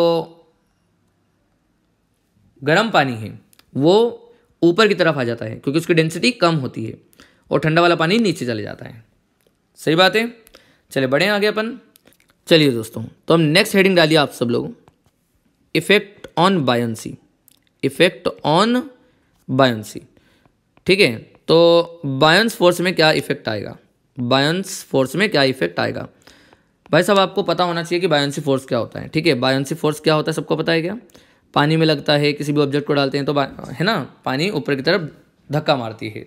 तो उसी को हम बायंस फोर्स बोलते हैं, ठीक है? तो वो क्या होता है बच्चे? जैसे कि मान लो, अभी यहाँ पर हम क्रिएट कर देते हैं, जैसे कि ये अपन ने पानी ले लिया, और इस पर हमने एक ऑब्जेक्ट को इस तरह से डुबा दिया, ठीक है?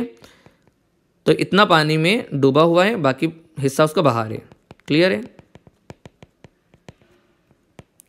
इस तरह से आपको दिया है। तो दोस्तों यहाँ पर आप ये देखेंगे कि बायंस फोर्स जो होता है, वो होता है रो वी जी। क्या होता है? Rho V G. अब मैं थोड़ा सा टर्म्स क्लियर कर देता हूँ, जिसको नहीं पता उसके लिए। यहाँ जो रो होता है, वो होता है लिक्विड का। ये क्या होता है? लिक्विड की डेंसिटी ठीक है तो मैं इसको लिखने जा रहा हूँ। डेंसिटी ऑफ़ लिक्विड ठीक है, ये होता है डेंसिटी ऑफ़ लिक्विड क्लियर ये जो वॉल्यूम है ना वॉल्यूम ये वॉल्यूम होता है उस ऑब्जेक्ट का जितना डूबा है ना सबमर्स्ड वॉल्यूम है ये इसका, ठीक है? जितना पानी के अंदर है ना, वो वॉल्यूम है ये। तो हम वॉल्यूम को लिखेंगे कि वॉल्यूम डिस्प्लेस बाय बॉडी ये कौन सा वॉल्यूम है? ये वो वॉल्यूम है जितना उसने पानी डिस्प्लेस करा हुआ है। मतलब वॉल्यूम डिस्प्लेस्ड बाय ऑब्जेक्ट ठीक है? या body volume displace by body clear और जी अपना ग्रेविटी है। पहले तो आप इसको नोट डाउन कर लो अच्छे से। कर लिया आप लोगों ने। अब इसका फॉर्मूला अपन बना के देखते हैं। देखिए, क्या बनेगा? ये तो बायंस फोर्स का एक्चुअल फॉर्मूला हुआ। अब मान लो भैया मैंने टेम्परेचर बढ़ा दिया। अब हमने यहाँ पर टेम्परेचर बढ़ा दिया। तो दोस्तों, अगर टेम्परेचर बढ़ाया मतलब पानी भी गर्म हो गया, और वो जो ऑब्जेक्ट है, वो पानी के अंदर है तो वो भी गर्म होगा। तो यहाँ पर तुम देखोगे कि डेंसिटी ऑफ़ लिक्विड में भी फ़र्क आएगा, और इस बॉडी के वॉल्यूम में भी फ़र्क आएगा। ठीक है? तो हम ये बोलेंगे कि जो बायंस फोर्स हो चुका है, अब एफ़ बी डेश वो क्या हो जाएगा? सर रोडेश वीडेश जी क्योंकि दोनों बदलेंगे। अच्छा रोडेश क्या हो जाएगा? पानी के वॉल्यूम में कितना फ़र्क आएगा डेंसिटी पानी की डेंसिटी में? तो अभी हमने पढ़ा कि वो हो जाता है रो अपान में one plus gamma delta T भाई गामा डेल्टा टी वाला फॉर्मूला अपान वाला, ये वाला इसलिए यूज़ कर रहा हूँ क्योंकि अभी मैं कोई अप्रोक्सीमेशन नहीं मान रहा। तो इसलिए डेंसिटी का फॉर्मूला अपने लिख लिया वन अपान रो अपान में one plus gamma delta T और ये जो गामा है, वो है लिक्विड का। ये ध्यान रखना। ये लिक्विड का है। ठीक है? पानी के लिए लिखा जा रहा है। और वॉल्यूम लिखना है अब। तो वॉल्यूम किसका लिखा जाएगा? सर, ये हो जाएगा वी नोड मतलब जो इसका इनिशियल वॉल्यूम था वो। तो V dash equal to V into one plus gamma delta T अब ध्यान से समझना। बेटा one plus gamma delta T से पूरी पूरी की पूरी क्वांटिटी मत कट कर देना ऐसे करके, है ना? ठीक है? क्योंकि ऊपर वाला गामा ये उस बॉडी के लिए है, ठीक है? ये उस बॉडी के लिए दिया गया है। ठीक है तो मैं इसमें गामा बी लिख रहा हूँ। गामा फॉर बॉडी और नीचे वाला जो गामा है, वो किसके लिए? लिक्विड के लिए, ठीक है? तो ये हो गया रो डेश की वैल्यू ये हो जाएगी वी डेश की वैल्यू ठीक है? ये वी डेश की वैल्यू हो गई। और इंटू जी क्लियर अब अगर अपन इसको देखें तो ये हो जाएगा रो वी जी इसको अपन उठाकर क्या करो? एफ़ बी बोल दूँ तो ये हो जाएगा एफ़ बी इंटू थोड़ा सा अच्छे से लिख देते हैं। ये हो जाएगा F B into one plus gamma B delta T upon में one plus gamma L delta T are you getting my point ये आपके पास फॉर्मूला बनेगा बायंस फोर्स का। मतलब कि अब जो लिक्विड में आपका जो सब्सटेंस पड़ा हुआ है ना, उस पर बायंस फोर्स इस तरह से लगेगा। अब ध्यान से समझना दोस्तों। आपसे क्वेश्चन ये पूछा जाता है कि बताइए टेम्परेचर बढ़ाया हमने टेम्परेचर बढ़ाया तो ये जो ब्लॉक है, वो नीचे की तरफ़ डूबेगा या और ऊपर की तरफ़ तैरने लगेगा या जितना वो अभी डूबा था, उतना ही डूबे रहेगा? इस तरह से क्वेश्चन पूछता है। तो दोस्तों, वो सब डिपेंड करता है इस बायंस फोर्स पर, ठीक है? कि बायंस फोर्स बढ़ गया तो वो ऑब्जेक्ट बाहर की तरफ़ फेंका जाएगा, है ना? अगर बायंस फोर्स कम हो गया तो वो ऑब्जेक्ट अंदर की तरफ़ डूबेगा, और अगर वो सेम रहा तो वो वहीं की वहीं रहेगा। तो दोस्तों, यहाँ पर से आप देख सकते हो कि इस पूरी क्वांटिटी में ना आप देखोगे कि one plus gamma B delta T और अपान में है one plus gamma L delta T. तो आप ये सीधे सीधे बोल सकते हो ना कि अगर आपके पास gamma for substance gamma for substance ज़्यादा हुआ, गामा फॉर लिक्विड से, है ना? सब्सटेंस का अगर आपके पास गामा ज़्यादा है लिक्विड से तो आप बोलोगे कि हमारा जो बायंस फोर्स है, वो बढ़ जाएगा, है ना? पॉजिटिव आएगा, है ना? आपके पास एफ़ बी की वैल्यू पॉजिटिव आ जाएगी और आप ये बोलोगे तब कि हमारा जो बायंस फोर्स बढ़ गया मतलब कि वो अपथ्रस्ट बढ़ गया। और अपथ्रस्ट बढ़ गया मतलब कि क्या होगा? कि वो जो ऑब्जेक्ट वो ऊपर की तरफ़ आ जाएगा। अगर इसका उल्टा हो जाए तो तो हम बोलेंगे हमारा बायंस फोर्स घट गया मतलब कि हमारा अपथ्रस्ट जो है वो कम हो गया। और अपथ्रस्ट कम हो गया तो हमारा वो ऑब्जेक्ट थोड़ा सा सिंक करेगा डूबेगा। और, अगर वो दोनों बराबर हैं अगर वो दोनों बराबर हैं तो ये दोनों क्वांटिटी कट जाएँगी और एफ़ बी के बराबर रहेगा। तो मतलब बोलेंगे हम ये सेम रहेगा। क्लियर है क्या? आसान था ये कि बाँस फोर्स में क्या वेरिएशंस आ सकते हैं। क्लियर है क्या? ठीक है? और ये सेम टेम्परेचर राइजिंग में बताया मैंने, है ना? जैसे भाई टेम्परेचर हमने मान लो बढ़ाया। समझा मेरी बात ध्यान से, है ना? टेम्परेचर बढ़ाया ये तब की बात करी गई है। टेम्परेचर बढ़ाया है तब की बात है। तो टेम्परेचर बढ़ाएँगे तो ये वाली वैल्यू ऑटोमेटिकली पॉजिटिव रहेगी, है ना? और ये वाली पॉजिटिव रहेगी तो आपके पास one plus gamma delta T जो होगा वो पॉजिटिव आएगा मतलब आपके पास बायंस फोर्स बढ़ेगा, ठीक है? और डिक्रीज आने पर वो इस तरह से अपोजिट भी हो जाएगा, ठीक है? चलिए तो अब हम इसके आगे बढ़ते हैं दोस्तों, यहाँ पर बस अब ये एंड होने वाला है, पूरा जो थर्मल एक्सपेंशन है कुछ एक दो प्रॉब्लम बनती हैं, हम उसको डिस्कस कर लेते हैं, ठीक है ऐसे थेरी फ़ेज़ में, जिससे कि आपको थोड़ा समझ में आ जाए।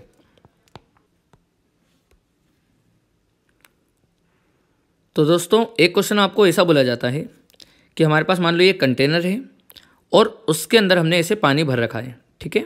उसके अंदर हमने बिल्कुल एकदम फुल पानी भर रखा है, लबलब पानी भरा हुआ है, ठीक है? तो फ़िलहाल पर हम ये बोल सकते हैं कि जो लिक्विड का जो वॉल्यूम है वो हमारे इस बॉडी के वॉल्यूम के या कंटेनर के वॉल्यूम के बराबर है ना? तो ये कंटेनर हो गया और ये लिक्विड हो गया हमारा। क्लियर है क्या? तो अब मान लो ये जो कंटेनर है, उस कंटेनर का आपको वॉल्यूम एक्सपेंशन होगा तो मैं इसके लिए गामा सी दे देता हूँ और जो लिक्विड है उसके लिए मैं गामा एल दे देता हूँ, ठीक है? तो क्वेश्चन ध्यान से समझिएगा क्वेश्चन क्या आएगा? एक कंटेनर है, उसके अंदर पानी भर रखा है या कुछ भी लिक्विड भर रखा है। अब जब मैंने उसका टेम्परेचर बढ़ाया तो क्या हो सकता है बताओ? पहले तो खुद सोचो। सर, अगर कंटेनर का वॉल्यूम एक्सपेंशन ज़्यादा हो गया तो ये ऊपर चले जाएगा और आपको ये जो पानी है, वो थोड़ा सा नीचे नज़र आएगा। मतलब कि एक गेप नज़र आएगी। ठीक है? एक ये हो सकता है। दूसरा ये हो सकता है कि अगर वॉल्यूम ऑफ़ लिक्विड एक्सपेंशन ज़्यादा हो जाए, एज़ कंपेयर टू कम कंटेनर तो आपका जो पानी है वो बाहर की तरफ़ ढुल जाएगा। ये बात सही है।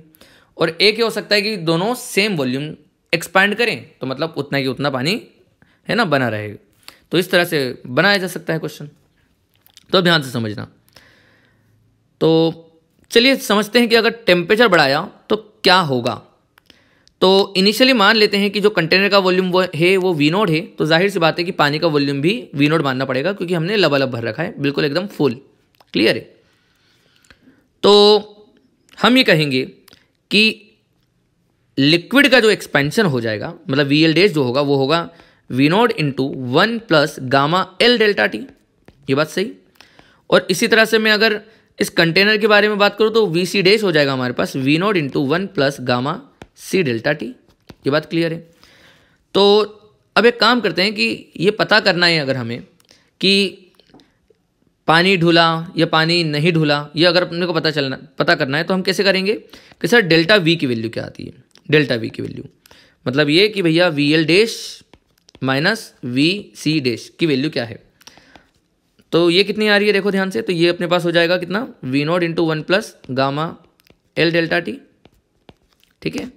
और minus V naught into one plus gamma C delta T और अब अगर आप इन दोनों को माइनस करेंगे तो भाई साहब वी नोट से वी नोट कट जाएगा तो आपके पास आंसर आ जाएगा V into delta T common निकाल लिया अपन ने तो V delta T into gamma L minus gamma S ठीक है? ये आपका वॉल्यूम का चेंज आ जाएगा। ठीक है? बच्चे, आपको रटना वटना नहीं है, ये मैंने आपको कॉन्सेप्ट बताया है। ठीक है? तो ये आपका चेंज इन वॉल्यूम आ जाएगा। अब अगर मान लो चेंज इन वॉल्यूम मतलब gamma L equal to gamma S हुआ तो आप क्या बोलोगे कि gamma L equal to gamma S है? मतलब कि ये ज़ीरो हो जाएगा तो हमारा पास वैसे की वैसा सिचुएशन रहेगा, जैसा इनिशियल था। मगर अगर मगर अगर मान लो कि गामा एल ज़्यादा है गामा एस से, ठीक है? लिक्विड का एक्सपेंशन ज़्यादा है कॉफिजेंट ऑफ़ लिक्विड एक्सपेंशन ज़्यादा है as compare to gamma S तो आप क्या बोलोगे बच्चे? जल्दी बताओ तो भैया हम ये बोलेंगे, सर, जो हमारा वॉल्यूम है, लिक्विड का वो ज़्यादा एक्सपेंड करेगा, इसलिए जो पानी होगा, वो बाहर आ जाएगा। तो मतलब सिचुएशन ऐसी बनेगी कि, सर, पानी, है ना मतलब इसके अंदर से पानी जो है, वो बाहर आने लगा। बात समझ में आ रही है क्या? इस तरह से हो जाएगा। अब अगर मान लो, अपन मान लेते हैं कि गामा एल जो है, वो कम है गामा एस से, ठीक है? तो क्या होगा? तो हम ये बोलेंगे कि, सर, हमारा जो पानी है ना वो थोड़ा सा नीचे हाइट तक चले जाएगा। ठीक है मतलब इसके अंदर कुछ हमें गेप नज़र आने लगेगी सर बात क्लियर है क्या? तो इस केस में जो पहला वाला केस था ना बच्चे, इस केस में वो पूछेगा कि बताओ कितना पानी धुल गया। दूसरे केस में पूछेगा कि कितनी हाइट उसमें कम हो गई, वो ये पूछेगा। और तीसरा वाला केस तो कम पूछे जाएँगे, है ना? तीसरे वाले केस आपके पास क्या होगा कि gamma L equal to gamma S हो। मतलब कि जैसा सिचुएशन अभी था, बिल्कुल वैसे के वैसा बना रहेगा। क्लियर है क्या? चलिए आई होप कि आपको ये पूरा समझ में आया है। तो नेक्स्ट इसी के ऊपर में थोड़ा सा और आगे बताता हूँ कि क्वेश्चन और क्या पूछ सकता है। देखिए दोस्तों, मैंने अभी जैसे बताया कि ये हाइट के बारे में वो आपसे पूछ सकता है। तो चलिए दोस्तों, इस हाइट को हम पता करते हैं, ठीक है? तो क्या बोला हमने क्वेश्चन कि अगर हमारे पास इस कंटेनर का एक्सपेंशन ज़्यादा हो जाए एज़ कंपेयर टू लिक्विड का एक्सपेंशन है ना? तो कंटेनर ज़्यादा बढ़ेगा तो ऑटोमेटिकली क्या हो जाएगी? लिक्विड की हाइट थोड़ी नीचे दिखाई देगी। तो आपसे पूछा जाएगा कि ये डेल्टा एच क्या है? ये डेल्टा एच क्या है? क्लियर चलिए तो दोस्तों अभी अभी हमने जब फॉर्मूला निकाला था, वो फॉर्मूला क्या था? तो वो आया था delta V equal to V delta T into gamma L minus gamma S ये फॉर्मूला आया था कि नहीं? है ना? ये अपने पास फॉर्मूला था। अच्छा दोस्तों, आप सबको वैसे पता हो, ये एस मतलब वैसे कंटेनर है हाँ? एस मतलब जो है वो कंटेनर है। दोस्तों, आप सबको अभी पता होगा कि जो कंटेनर है, वो सॉलिड का बना हुआ है तो कंटेनर के केस में मैं कई बार हमें वो क्वेश्चन में gamma equal to three alpha use करने के लिए बोल देता है है ना? तो कॉफिशेंट ऑफ़ लीनियर एक्सपांशन देकर वो आपको कॉफिशेंट ऑफ़ वॉल्यूम एक्सपांशन लगाने के लिए बोलता है। तो ठीक है, हमको पता है कि gamma C equal to three alpha C हो जाएगा, है ना? ये हमको पता है। चलिए तो अब हम आते हैं कि ये हाइट कैसे निकाली जाए तो ध्यान से समझना। दोस्तों, यहाँ पर volume equal to area into H है ना? हम सबको पता है कि volume equal to area into height हो जाएगा। तो अब अगर मेरा एरिया कॉन्स्टेंट है, अब समझना ध्यान से, क्योंकि क्रॉस सेक्शनल एरिया तो दोनों का सेम रहेगा ना बच्चों, देखो। अगर जितना कंटेनर बढ़ेगा तो एरिया वाइज जो है, इस लिक्विड ने भी उतना ही एरिया घेरा होगा ना, जितना इस कंटेनर का एरिया होगा तो क्रॉस सेक्शनल एरिया जो होगा, वो दोनों का सेम होगा। इट मीन्स कि ए हमारा कॉन्सेंट रहेगा। तो अगर मेरा वॉल्यूम को मैं चेंज करूँ मतलब डेल्टा वी इजिकल टू मैं लिख सकता हूँ क्या? ए इंटू डेल्टा एच ऐसा लिख सकता हूँ। तो भैया हम ये बोल सकते हैं ना कि डेल्टा एच जो होगा, वो डेल्टा वी बाय ए होगा। ये बात समझ में आई? अब दोस्तों मुझे बताना कि ए किसका लेंगे? ए लिक्विड का होना चाहिए कि कंटेनर का? सोच कर बोलो। भाई लिक्विड तो वही एरिया में आ पाएगा लिक्विड का तो वही एरिया होगा जो कि उस कंटेनर का होगा। समझ रहे हो? कंटेनर का एरिया ए से टू ए हुआ तो लिक्विड को भी टू ए ही रहना पड़ेगा ना वहाँ पर। ऐसा तो नहीं है कि वो ए में ही रहेगा। तो भैया क्रॉस सेक्शनल एरिया तो उसको वही कवर करना पड़ेगा जो उस कंटेनर का है। तो मतलब ये जो कंटेनर का एरिया आना चाहिए यहाँ पर। किसका? कंटेनर का एरिया तो दोस्तों आप ध्यान से सुनना। ये क्वेश्चन अक्सर पूछा जाता है, इसलिए मैं आपको बोलता, बता रहा हूँ। डेल्टा वी कितना होगा बच्चे? तो भैया, अभी हमने निकाला है वी डेल्टा टी अपान में gamma into gamma L minus gamma C और अपान में अभी हमने बोला एरिया तो एरिया क्या है अपने, देखा? एरिया हो जाएगा सर कंटेनर का। और कंटेनर का अब जो एरिया बन चुका है ए सी डैश वो कंटेनर का बन चुका है A into one plus two alpha delta T ऐसा लिख सकता हूँ क्या बच्चे में? भाई, जैसे मैं गामा सी की, gamma C equal to three alpha C लिख सकता हूँ? तो beta C equal to two alpha C भी तो लिख सकते हैं ना? तो इसलिए मैंने यहाँ पर टू बीटा डेल्टा टी की जगह मतलब one plus beta delta T की जगह टू अल्फ़ा डेल्टा टी लिख दिया, ठीक है? तो वी बाय एरिया ये हो जाएगा एच इसके हिसाब से, ठीक है? तो आपका जो आंसर आ रहा है वो ये है कि delta H equal to H delta T into into gamma L minus three alpha divided by one plus two alpha delta T. Clear है क्या? ये अपने पास फॉर्मूला बन जाएगा। बच्चे, ये फॉर्मूला आपको याद नहीं करना है। ये बस कॉन्सेप्ट मैंने आपको समझाया है, सिखाया है। इस कॉन्सेप्ट को आपको समझना है। इस कॉन्सेप्ट से दोस्तों, जेई में भी कई बार क्वेश्चन पूछे गए हैं और नीट से भी इसमें क्वेश्चन पूछे जा सकते हैं। ये ध्यान रखना। ठीक है? बड़ा आसान कॉन्सेप्ट है। नीट के अंदर भी यूज़ हो जाता है और जेई मेंस और जेई एडवांस में भी सब जगह पर ये प्रॉब्लम आया है। ये बात ध्यान रखना। आईआईटी ने भी इसको पूछा है। जेई एडवांस में भी ये दो से तीन बार पूछा गया है। अगर आप प्रीवियस ईयर करोगे तो आपको ये दिख जाएगा। क्लियर है क्या? पक्का? चलिए, अब हम आगे बढ़ रहे हैं। ध्यान रखिएगा, ये जो क्वेश्चन है, ये क्वेश्चन अक्सर पूछा जाता है, थोड़ा फ़ेमस प्रॉब्लम है। तो कॉन्सेप्ट जो मैंने आपको सारे बताए हैं, उन सबको ध्यान रखना। ठीक है? चलिए तो अब हम आगे बढ़ते हैं।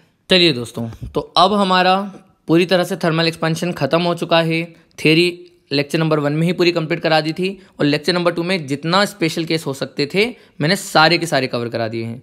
तो अब मैं कुछ क्वेश्चन यहाँ पर ले लेता हूँ जो कि आईआईटी और नीट में बहुत अक्सर पूछे जाते हैं। और, एक आपके पास थर्मोडाइनमिक प्रोसेस से भी पूछा जाता है। ठीक है? तो वो बहुत इंपॉर्टेंट है, आजकल बहुत ट्रेंडिंग है वो। तो उसको ध्यान से आप सुन लेना, है ना? मैं आपको यहाँ पर अब एक दो क्वेश्चन करा देता हूँ और ये लेक्चर अपन समाप्त करते हैं। तो दोस्तों, पहला क्वेश्चन आप लिखिए, जल्दी से सब लोग, पहला क्वेश्चन लिखिएगा। A metal rod of A ऐसे लिखिए a metal rod A of length 25 centimetre of length 25 centimetre a metal rod A of length 25 centimeter expands by 0.05 centimetre. एक मेटल रोड है ए ठीक है?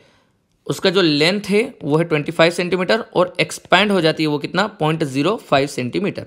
ऐसा बोला गया। आगे लिखा है when its temperature is raised by raised when its temperature is raised from zero degree Celsius to hundred degree Celsius लिखिए, उसका टेम्परेचर हमने हंड्रेड डिग्री सेल्सियस राइज कर दिया।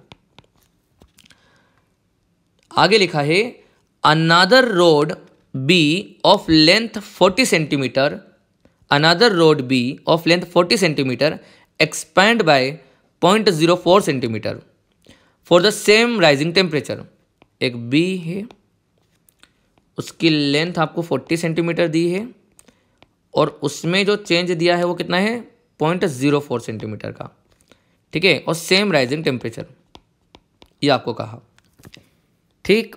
अब आगे बोला है a third rod C of fifty centimetre length a third rod C of fifty centimetre length is made up of pieces of rod A and B placed end to end and expand by 0.03 centimeter on heating from 0 degree Celsius to 50 degree Celsius तो दोस्तों, इसमें ये कहा गया है कि अब हमने अगर एक रोड बनाई इस रोड में कुछ हिस्सा ए का है और कुछ हिस्सा बी का है। तो मान लो ये ए का है और इसमें कुछ हिस्सा बी का है। और ये कहा गया, क्या third rod C of length fifty centimetre अगर ये पचास सेंटीमीटर की लेंथ है। ठीक है? और इसमें कुछ हिस्सा ए का है, कुछ हिस्सा बी का है। इसमें जो एक्सपेंशन होता है, वो है कितने का? पॉइंट ज़ीरो थ्री सेंटीमीटर का। तो इन्होंने बोला कि इसमें जो डेल्टा टी है, वो है पचास डिग्री सेल्सियस। और ये कहा है? क्वेश्चन कहा है?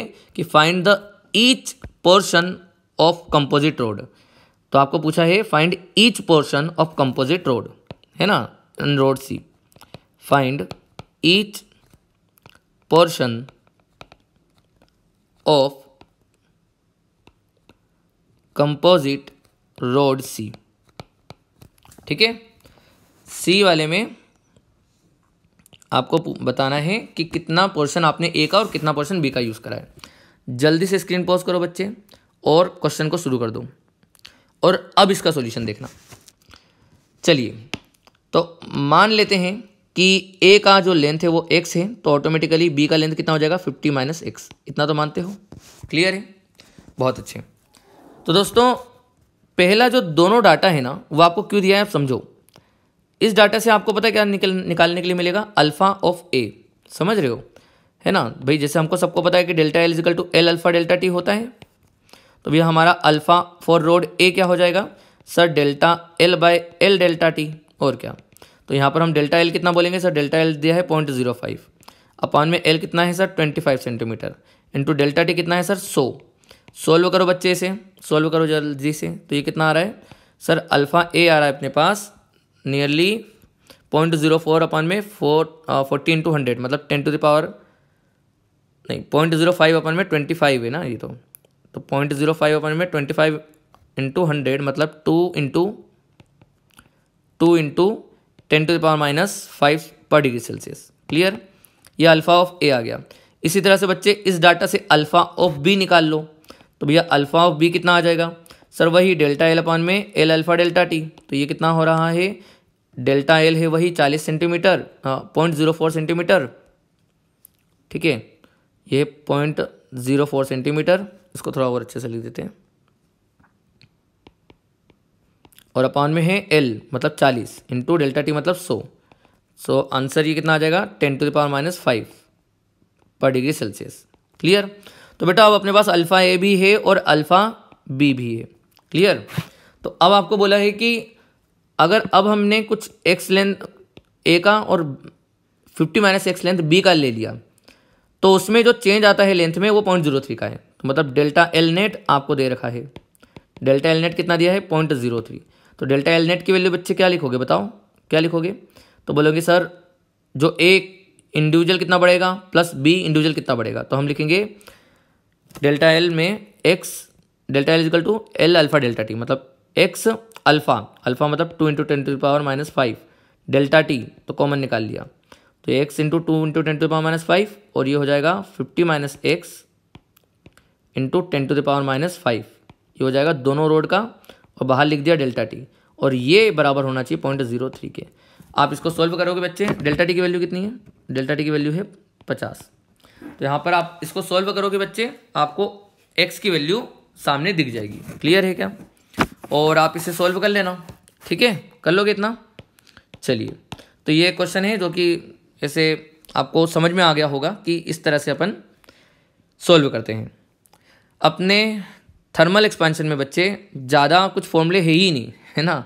ज़रा से फॉर्मूले हैं, बिल्कुल। है ना कि लेंथ में कितना चेंज वॉल्यूम में कितना चेंज एरिया में कितना चेंज बस, है ना? उसी के हिसाब से चीज़ें बनी हुई हैं। ठीक है? चलिए, अब नेक्स्ट अपन करते हैं क्वेश्चन नेक्स्ट क्वेश्चन देखिए. तो नेक्स्ट क्वेश्चन लिखिएगा सब लोग, जो कि बहुत इंपॉर्टेंट है और जैसे कि मैंने आपको बताया कि आईआईटी में बहुत ज़्यादा फ़ेमस है. इनफैक्ट जेई मेंस में भी और जेई एडवांस में भी. मतलब किसी ना किसी रूप में ये दे देगा आप लोगों को. ये ध्यान रखना, है ना? बहुत ही ज़्यादा फ़ेमस क्वेश्चन है ये, जो मैं अब कराने जा रहा हूँ. और हाँ नीट को भी मत भूलो, क्योंकि नीट में भी अक्सर पूछा जा रहा है. ट्रेंडिंग क्वेश्चन है ये, बहुत इंपॉर्टेंट क्वेश्चन है, ठीक है? ट्रेंडिंग है ये। तो ध्यान से सुनो। क्वेश्चन ये है, पहले तो क्वेश्चन लिख लो। An ideal gas undergoes a thermodynamic process लिखो an ideal gas undergoes a thermodynamic process given by P square V cube is equal to constant given by P square V cube is equal to constant then calculate volume expansion of gas उन्होंने बोला है then calculate coefficient of volume expansion of the gas then calculate coefficient of volume expansion of the gas क्या पता करना है? Volume expansion of the gas coefficient of volume expansion of the gas for this process as a function of time है ना? आपको ये as a function of time नहीं as a function of temperature as a function of temperature बताना है। है ना? तो बच्चे, आपको गामा गैस के लिए as a function of temperature बताना है। ठीक है? एक बार खुद से एक बार ट्राई कर लो। क्वेश्चन में फिर से पढ़ देता हूँ। An ideal gas undergoes a thermodynamic process given by P square V cube is equal to constant calculate coefficient of volume expansion of the gas for this process as a function of temperature